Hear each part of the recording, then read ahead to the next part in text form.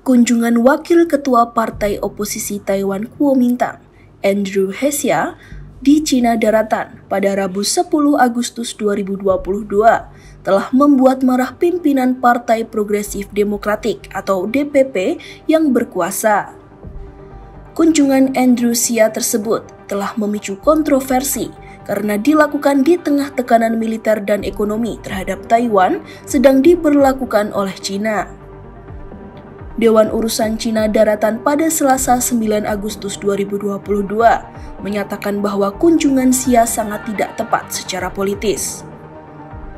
Kunjungan tersebut menimbulkan kebingungan masyarakat internasional yang melihat cara pandang masyarakat Taiwan dalam menyikapi ancaman militer dari China.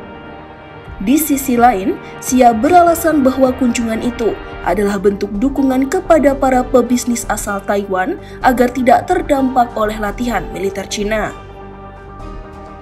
Andrew Xia menambahkan bahwa kunjungannya ke kota Xiamen, Provinsi Fujian, yang dipisahkan oleh Selat Taiwan tersebut adalah untuk menghadiri forum bisnis dan bertemu masyarakat Taiwan yang belajar dan tinggal di wilayah selatan Cina daratan itu.